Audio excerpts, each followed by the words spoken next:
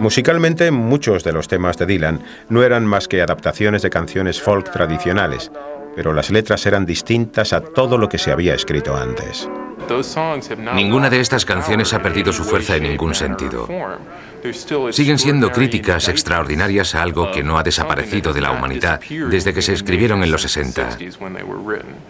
Frente al deseo de ir a la guerra o de conquistar estaba el rebelarse contra ello. Ninguno de estos sentimientos ha desaparecido. Una de las canciones de Dylan se destacó como una obra de arte precoz y le convirtió en el portavoz de la conciencia social de su generación.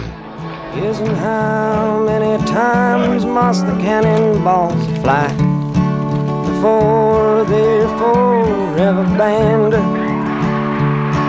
The answer, my friend, is blow. Creo que era capaz de crear consignas para la gente que estaba empezando a adoptar ciertas posturas políticas. Si ya estás comprometido con los derechos civiles y escuchas Blowing in the Wind, piensas, claro que sí, esta es la música de la época. Esa canción es la encarnación misma del movimiento pro derechos civiles.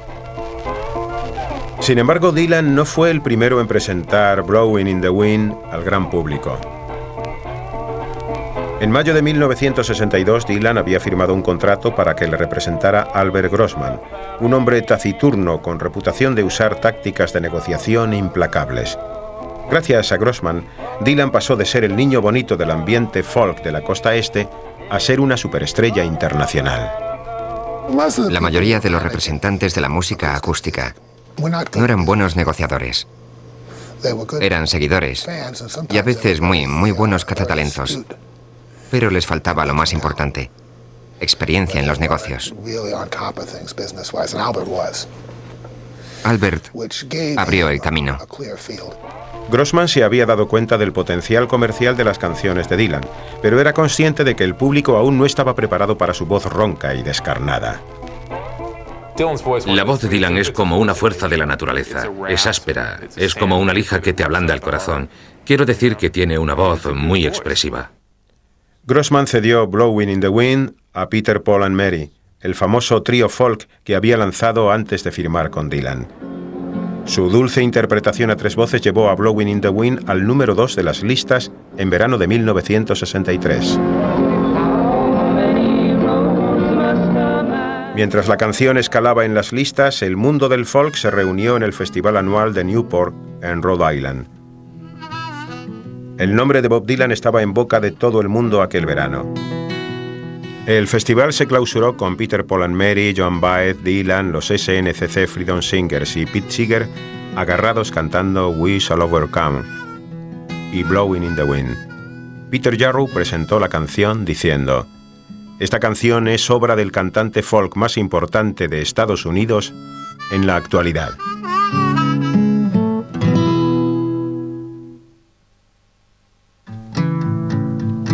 Después de lo de Newport, Dylan empezó a ser conocido como el chico de oro del folk, una imagen que se reforzó tras su viaje a Mississippi con Pete Seeger para manifestarse por los derechos humanos y su actuación en la Marcha de Washington. En el mismo escenario donde Martin Luther King pronunciaría su famoso discurso Hoy he tenido un sueño, ese mismo día Dylan cantó Only a Pawn in Their Game, quizás la canción política más explícita de su discografía.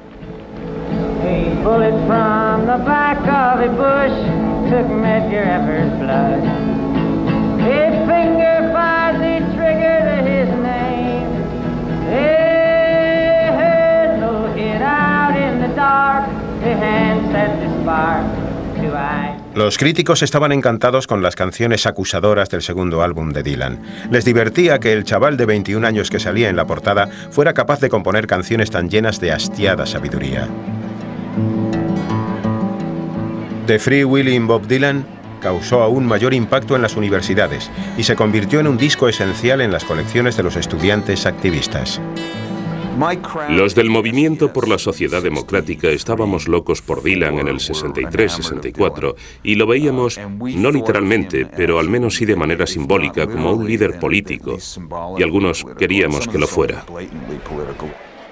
El nombre de Dylan no tardó mucho en aparecer con frecuencia en la prensa junto a frases como la voz de la nueva generación o poeta del folk.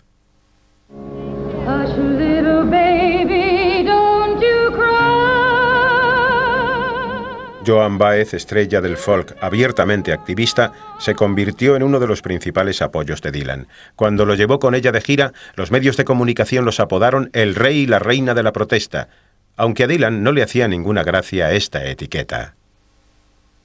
But then again, I'm, I'm not a topical songwriter. So you're not. Oh, no, you're not a topical songwriter. No, I don't really even like that word. De hecho, los temas de Dylan estaban evolucionando de lo político a lo personal.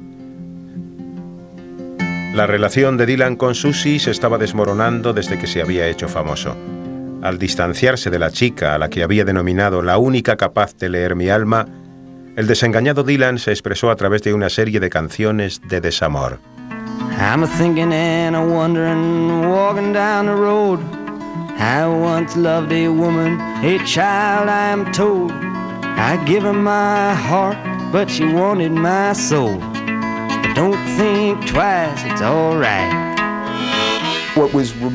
Lo sorprendente de Dylan Uh, es que era un individualista, que iba a su aire e insistía mucho en ello. Uh, Pero al mismo tiempo quería escribir consignas universales. The Times the Air a Changing es una canción muy distinta a Don't Think Twice, It's Alright, y ambas son de Dylan. Dylan empezó a alejarse de la música folk. Al recibir un premio por defender los derechos civiles, Dylan escandalizó al público de ricos liberales al decir que podía identificarse con Lee Harvey Oswald. Después publicó una disculpa, que parecía más bien una advertencia de que por mucho que se empeñaran, no lo iban a convertir en la imagen de la izquierda. Escribió, Si vivimos una época violenta, tiene que haber violencia en mí. No soy mudo.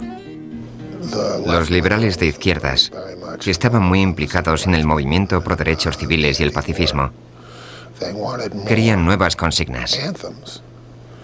Dylan pensaba, escribidlas vosotros. Aún más frustrante para Dylan era la persecución de la prensa y que lo trataran como a una nueva celebridad. Siempre estaban dando detalles de su vida personal, le presentaban como Robert Zimmerman, como si su identidad fuera un auténtico fraude, y constantemente le preguntaban por el significado de sus canciones. Como resultado, la prensa no tardó en despertar el resentimiento en Dylan. Alejaos, alejaos, alejaos, demonios, y dejadme ser yo mismo, escribió. Mi yo humano, mi yo despiadado, mi yo salvaje, mi yo amable, todos mis yoes. Creo que sentía sin la menor duda que no quería ser el portavoz de ninguna gran causa política, porque tenía más cosas personales que decir e intentaba expresar cosas que para él significaban mucho. A pesar de todo, Bob Dylan ya era una estrella y eso le convertía en propiedad pública. Tanto si la cuestión era política como social o cultural, sus fans y la prensa acudían a Dylan en busca de respuestas. Todo el mundo se preocupaba demasiado por las letras de Bob Dylan, por el significado de sus canciones, y en mi opinión nos olvidábamos, tanto los críticos como los fans, de lo que la canción hace sentir. Y eso es lo más importante. Esas canciones nos emocionaban visceralmente mucho antes de que las entendiéramos. Y para ser honesto, ¿en realidad sabemos qué quieren decir? Había una cualidad de Dylan que destacaba tanto en su música como en su personalidad, el desafío a la autoridad que lo convertía en un héroe para los jóvenes. Está cantando para todos nosotros. O solo cantando, joder, aquí estoy con vosotros. Así que atraía tanto al espíritu colectivo, al nosotros, como al largo, déjame en paz, al yo. Es una combinación muy atractiva que capta el individualismo del momento y los intentos por encontrar un grupo de pensadores, de compañeros. Su denuncia de que los padres critican lo que no pueden entender, como reza The Times They Are Changing, se convirtió en el credo de una nueva generación que no se fiaba de nadie de más de 30 años.